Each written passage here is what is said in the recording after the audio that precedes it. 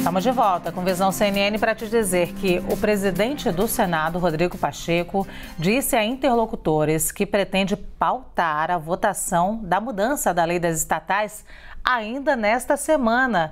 A avaliação colhida por ele e seus aliados é que as mudanças têm amplo apoio interno na casa e que o texto deverá seguir o mesmo caminho da Câmara. Uma votação com ampla margem de folga para alterar a, alterar a lei das estatais.